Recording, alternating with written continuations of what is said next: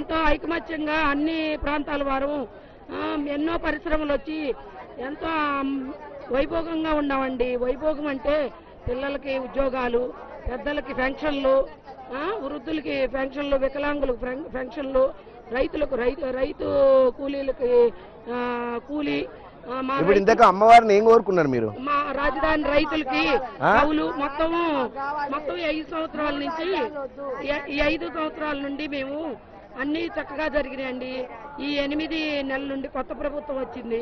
కొత్త ప్రభుత్వం నుండి మేము అసలు క్షణక్షణం ఏ పిడుగు వార్త వింటున్నామో మాకే అర్థం కావట్లేదండి. టెంటుల కింద కూర్చొని ఈ రోజుకి యాభై మూడు రోజులండి మేము దీక్ష మొదలుపెట్టి. ఆ, రోజుకు ఒక రకంగా మా మీద రాళ్ళు వేస్తున్నారండి. ప్రభుత్వం నుండి మా- ఎమ్మెల్యేలు కానీ మంత్రులు కానీ సీఎం గారు ఏం మాట్లాడలేదులేండి మా గురించి. మాట్లాడిస్తున్నారండి. ఒక కమ్మ సామాజిక వర్గానికి మా రాజధానిని అంటగట్టి మా రాజధానిని అంత చిందరవందం చేస్తున్నారండి. ఇరవై తొమ్మిది గ్రామాల ప్రజలు ప్ర- ప్రజలు ఐదు కోట్ల ఆంధ్రుల కోసం ఆ, ఎకరంకండి డెబ్బై ఐదు పర్సెంట్ ప్రజలకు దానం చేసి దానం కూడా కాదండి బాధ్యతగా ఇచ్చి ఇరవై ఐదు పర్సెంట్ ఇప్పుడు మీరు సమ్మక్కన అసలు కోరిన కోరిక ఏందో అది చెప్తలేరు మీరు. అందుకని సమ్మక్క మేము జరిగింది చెప్తా వస్తున్నామండి. అయితే ఆవిడ ఇచ్చామండి. ఇచ్చినందువల్ల మాకు గత ప్రభుత్వంలో బాగానే జరిగిందండి అంతా. అది సమ్మక్క సార్లమ్మ మాకు ప్రభుత్వం ఎడగొట్టి ఇచ్చిన దగ్గర నుంచి మా ఆంధ్రప్రదేశ్ ఎడగొట్టి దానికి రెండు జాతరలు చేసుకుందండి అమ్మ.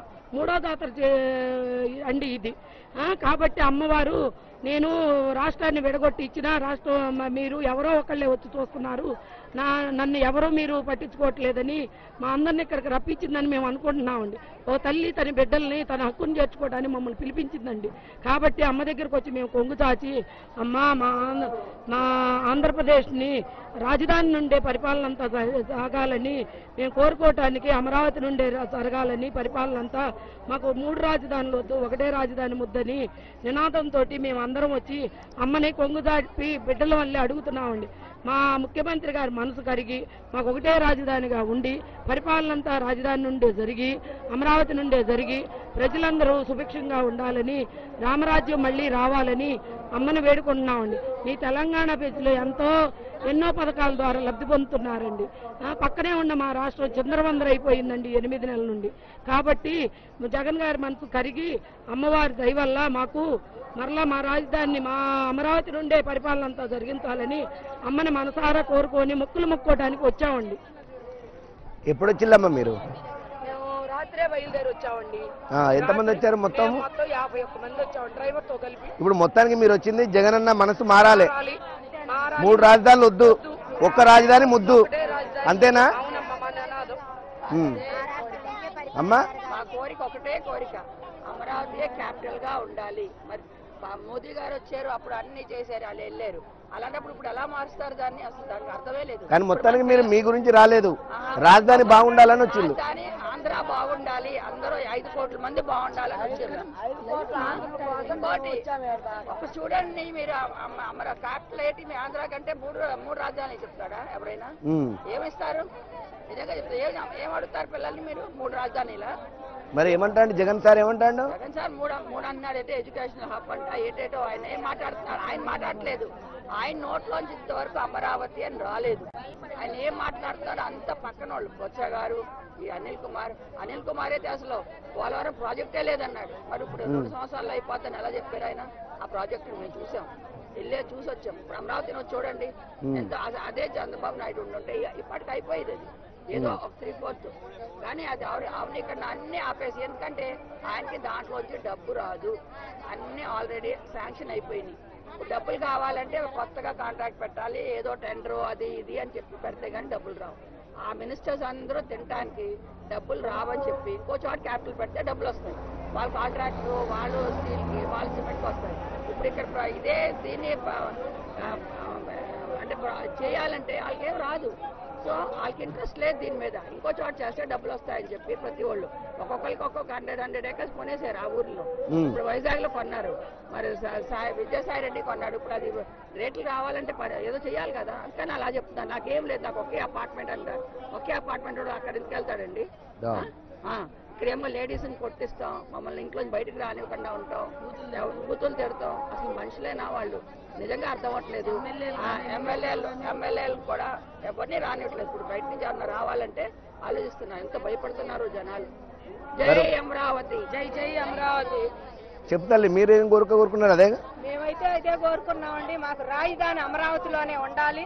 సెక్రటేరియట్ గాని హైకోర్టు గాని అసెంబ్లీ గాని పరిపాలన అంతా అమరావతి నుంచే పదమూడు జిల్లాలకి జరగాలని మేము సమ్మక్క సారక్కను కోరుకోవటానికి వచ్చామండి. ఇప్పుడు యాభై మూడు రోజుల నుంచి మేము ఆంధ్రాలో నిరసన దీక్షలో కూర్చున్న మహిళలు అందరం.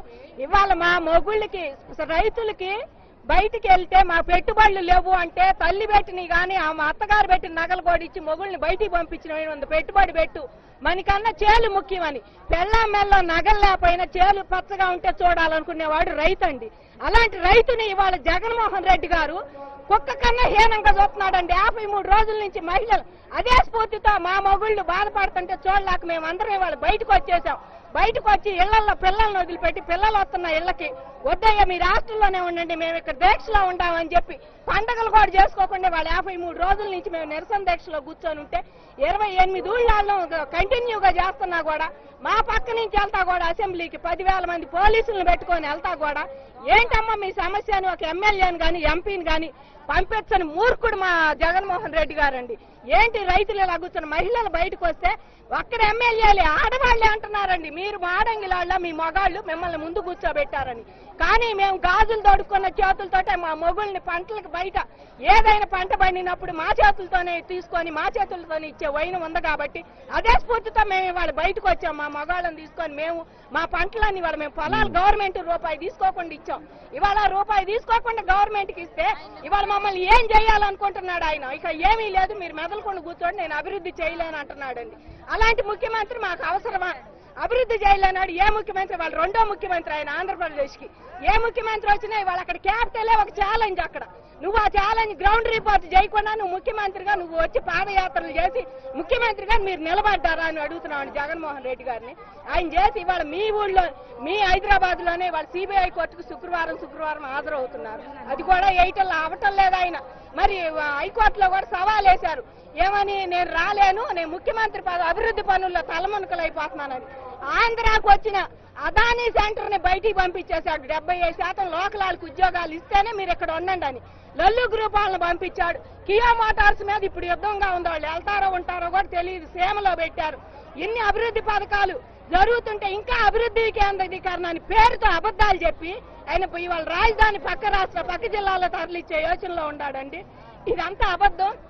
నిజంగా ఆయన అభివృద్ధి చేయాలనుకుంటే అదానీ సెంటర్ నుంచేవాడు. వేల మందికి ఉద్యోగాలు వచ్చాయి చదువుకున్న పిల్లలకి. లల్లు గ్రూప్ నుంచే వాళ్ళు ఉద్యోగాలు వచ్చాయి. ఇవాళ కియో మోటార్స్ ఉండే డెబ్బై ఐదు మంది లోకల్ వాళ్ళకి ఇవ్వమన్నాడు. మా పిల్లలు ఇవాళ బయట రాజ్యాల్లో బయట రాష్ట్రాల్లో పనిచేస్తున్నారు. అక్కడ కూడా ఇదే పరిస్థితి వస్తే మా పిల్లల పరిస్థితి ఏంటి? ఇది జగన్మోహన్ రెడ్డి గారు ఆలోచించట్లేదా? అని నేను అడుగుతాను. ఏ వరకు ఆయన ఆలోచన కాదండి. ఎంతసేపటికి రాష్ట్రాన్ని అప్పులు ఊబిలో కూర్చుపోవాలి? ఈ జనం మీద కచ్చే ప్రజలు వర్సెస్ ప్రభుత్వం అన్నట్టు చేస్తున్నాడు కానీ మమ్మల్ని ప్రేమ ఏనాడు అభిమానం జనం మీద లేదండి. నూట యాభై ఒక్క సీట్లు ఉండయని ఇవాళ ఎమ్మెల్యేలు నా తరపున ఉన్నారు అసెంబ్లీలో నేను ఏది చేసినా చెల్లుతుంది అనుకుంటున్నారు. మేనిఫెస్టోలో ఆయన అమరావతి ఉండదు అని పెడితే ఒక్క సీటు కూడా వచ్చేది కాదండి ఆయనకి. ఎందుకంటే వీళ్ళ అమరావతిలో పొలాలు కోట్లు లక్ష కోట్ల ఆదాయం వాళ్ళ అమరావతి నుంచి పదమూడు జిల్లాలో పోతున్నాయి. మేమిచ్చిన పొలాలు. డెబ్బై ఐదు సెంట్ గవర్నమెంట్ కింద ఉంది. ఒక పాతి సెంటే మా రైతుల కింద ఉంది. మాకు రూపాయి ఇవ్వల. ఇవాళ అందరూ వీళ్ళు భూసే భూసేకరణ చేశారు. భూస్వామీకరణ డబ్బులు ఇచ్చేసింది గవర్నమెంట్ ఏదో. మెదలకుండా కూర్చోకుండా ఇంకా ఏంటి ఈ గోల అన్నట్టు ఉందండి పక్క రాష్ట్రాల వాళ్ళకి మా భూ సమీకరణ చేశారండి భూసేకరణ ఇప్పుడు సమ్మక్కని ఏం. కోరుకున్నారు మొత్తానికి? మేము సమ్మక్కన అయితే ఇదే కోరుకున్నామండి. ఇక్కడ ముఖ్యమంత్రి గారు తెలంగాణ ఉద్యమం ఉన్నప్పుడు కేసీఆర్ గారు ఆయన సమ్మక్కని సారక్కని ప్రార్థించి ఉద్యమంలో దిగాడు. సాధించారు తెలంగాణ. అదే స్ఫూర్తితో మేము కూడా వచ్చి ఇవాళ ఈ తల్లిని నమ్ముకొని సమ్మక్కని సారక్కని ఈ స్ఫూర్తి మాకు కూడా ఇవ్వమని మా అమరావతి మాకు ఉండాలని చెప్పి మేము ఇక్కడే ఆ ముండి మేము ఈ దేవతని ఆ స్ఫూర్తితోనే కేసీఆర్ మాకు స్ఫూర్తి అండి. ఆయన సాధించారు తెలంగాణ. అలాగే అమరావతిని మేము సాధిస్తాము అనే మహిళా రైతులు అందరం ఇవాళ కట్టకట్టుకొని బొసేసుకొని కావాలని వాళ్ళ ఈ జాతర సందర్భంలో అమ్మవారిని మొక్కుందామని వచ్చానండి. ఇంత పెద్ద జాతర ఎక్కడ లేదు. మాకు తెలుసు ఇంత పెద్ద జాతర జరుగుతుంది. ఈ జాతరలో మొక్కుందామని మేము ఇక్కడ వస్తే ఇక్కడ దృష్టి కూడా ఇక్కడ జనం దృష్టి కూడా మా మీద పడి రైతులు సంగి రైతు అంటే ఎక్కడైనా రైతేనండి. ఏ జిల్లాలో అయినా రైతే గిట్టుబాటు ధర లేక రైతులు ఎంత పడిపోతున్నారో మాకు తెలుసండి. వాళ్ళ రైతుల బాధలు తెలుసు మాకు. కాబట్టి ఏ రైతులైనా మాకు మీ తెలంగాణ నుంచి కూడా రైతులు వచ్చారు. సంఘీభావం తెలుపుతాను మా ఖమ్మం జిల్లా నుంచి. కాబట్టి కాబట్టి ఇక్కడ వాళ్ళు కూడా తెలుసుకోవాలని చెప్పి మేము వచ్చామండి. ఈ జాతరలో అయితే అందరికీ తెలుస్తుంది. మా నినాదం వినిపిద్దాము. కేసీఆర్ గారు కూడా మీ మీడియా తరఫున చదువుతున్నామండి. తెలుగు రాష్ట్రాలు రెండు. ఈ రకంగా ఒక రాష్ట్రం పైకి ఒక రాష్ట్రం కిందకి ఉంటే నాశనం అయిపోతుంటే చూస్తా ఊరుకోవద్దండి. జగన్మోహన్ రెడ్డి గారికి మీకు స్నేహం ఉంది. అది మా అందరే తెలుసు. ఆ స్నేహ భావాన్ని పురస్కరించుకొని జగన్మోహన్ రెడ్డి గారికి కాస్త బుద్ధి చెప్పండి. ఆంధ్ర నాశనం చేయొద్దని యువతను నిర్వీర్యం చేయొద్దని మరీ మరీ చెబుతున్నామండి జై అమరావతి జై ఆంధ్రప్రదేశ్. సంతోషం. అయితే మరి అందరూ దర్శనాలు బాగా జరిగినాయా? అందరు కోరుకున్నది ఒకటే కోరిక. మాకు రాజధాని కావాలి. ఆ జగన్ మనసు మీ. పిల్లల కోసం మీకోసం మీరేం కోరుకోలే? మా పిల్లల కోసం కాదండి మేము ఐదు కోట్ల ఆంధ్రుల కోసం మాకు రాజధాని కావాలి. మా పిల్లల భవిష్యత్తు మా భవిష్యత్తు కోసం అయితే రాలేదండి మేము. మేము వాళ్ళందరి కోసమే వచ్చాము. అందరు పిల్లలు మా పిల్లలు అందరూ శుభ్రంగా ఉంటారు అని ఆ రోజు పొలం అంటాగానే ఇచ్చాం. ఈ రోజు కూడా అదే మొక్కుకోవడానికి వచ్చాం. ఆ తల్లి కరుణించి మాకు రాజధాని ఇచ్చుద్ది అవుతుందిలేండి మీరు అనుకున్న పని సమ్మక్క దగ్గరికి వచ్చింది కదా. అవును. అవుతుంది పని. అవుతుంది జై సమ్మక్క సారక్క మా కోరికలు తీర్చిద్దని అమ్మవారిని మేము అప్పటికప్పుడు అనుకోని అందరం వచ్చాము. ఇరవై తొమ్మిది ఊళ్ళలో మేము రైతులవి మేము మహిళలని మేము రైతులుగా గుర్తిస్తారు అని మేము వచ్చాము అమ్మవారి దగ్గరికి. మా కోరిక తీర్చిద్ది. మా తొందరలోనే లెటర్ పంపించిద్ది. మా ముఖ్యమంత్రి గారు మనసు మార్చిద్ది. మా మా జిల్లాలో ఒక్క ఎమ్మెల్యే కూడా బయటకు వచ్చి మమ్మల్ని ఎవరిని ఏమీ అడగట్లేదు. ఇక్కడ మాకు బాగా సంతోషంగా ఉంది. అమ్మ మాకు ఇచ్చిద్దని వరం మేము కోరుకుంటున్నాం. చాలా సంతోషం. జై సమ్మక్క. జై సారలమ్మ. జై జై మేడారం జాతర. ఎట్లున్నదమ్మా మేడారం జాతర ఎట్లున్నది? చాలా బాగుందండి మాకు. ఫస్ట్ టైం వచ్చిండు మీరు? అవునండి. మా అమ్మవారు మమ్మల్ని కరుణించుద్దని అనుకుని మేడారంకి రావాలని ఎందుకు అనిపించింది? మాకు తల్లి ఆయన్ని మార్చుద్దని ఆశతో వచ్చాము. అమ్మే మమ్మల్ని రప్పించుకుంది. అప్పటికప్పుడు అనుకొని బస్సు మాట్లాడుకొని వచ్చేసామండి. అంతేనా? అమ్మ మహిమ ఇన్నట్టున్నారు మీరు బాగా. అమ్మ బా- అమ్మే పిలిపించుకుంది మమ్మల్ని. ఏ దేవుడి దగ్గరికి ఏ యా, అమ్మవారి దగ్గరికి వెళ్ళనే పోయినా ఉండాలి. కూడా మమ్మల్ని ఆ. పోలీసులతో కొట్టిస్తున్నారయ్యా. అప్పటికప్పుడు అనుకోని ఇద్దరం ఇద్దరము. యాభై మందివి. ఉసి వేసుకొని వచ్చాం అమ్మవారి దగ్గరికి. అమ్మవారి దగ్గరికి వచ్చేదాకా కూడా అమ్మవారి దగ్గరికి వస్తాం అనుకోలే. సమ్మక్క సారక్క ఇక్కడ దాకా నడిపించింది కాబట్టి మా కోరికలు తీరుతాయని మాకు. జై అమరావతి! జై జై అమరావతి! మరి తిన్నారా మీరు అందరూ?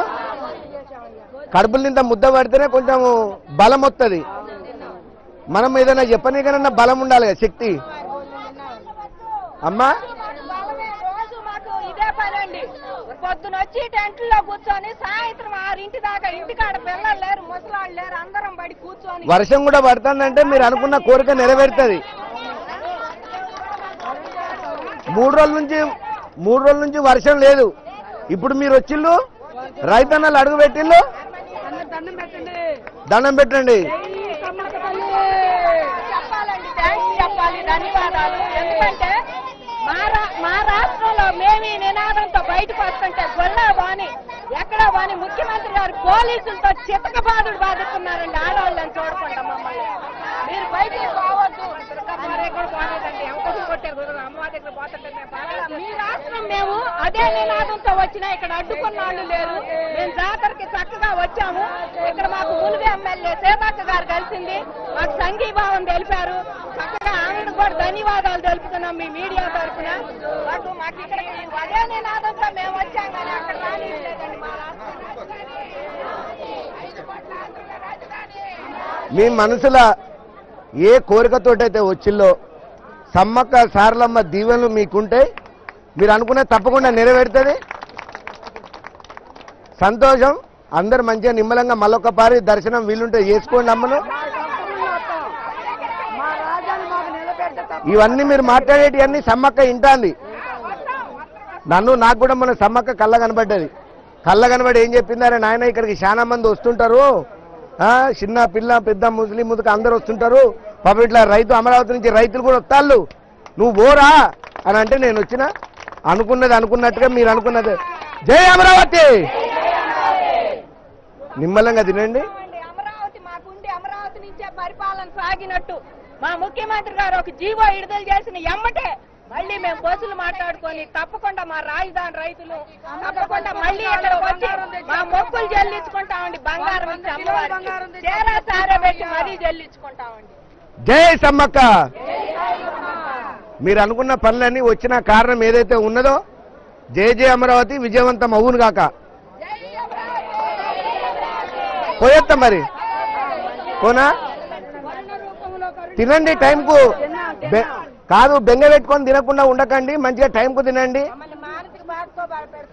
ఏం కావు సమ్మక్క దగ్గరకు వచ్చినాక ఏ బాధలు ఉండవు ముఖ్యమంత్రి ఎవరన్నా ఉన్నారండి ఆడవాళ్ళు మీడియా సోదరులు ఇక్కడికి వచ్చిన కాడి నుంచి తెలంగాణలో ఉన్న మీడియా సోదరులు అందరూ మమ్మల్ని కవర్ చేసి మా ఆవేదన మా భావోద్వేగాలు మీరు అందరికీ చూపించినందుకు మీ మీడియా సోదరులకు అభినందనలు ధన్యవాదాలు. థ్యాంక్ యూ అమ్మా. ధన్యవాదాలండి మీకు అమ్మా. తెలంగాణ నుంచి కూడా రైతులు వచ్చారు మాకు. వస్తారమ్మా మంచి ఎక్కడ ఉంటే అక్కడ వస్తూనే ఉంటారు. ఆ? పోయొద్దా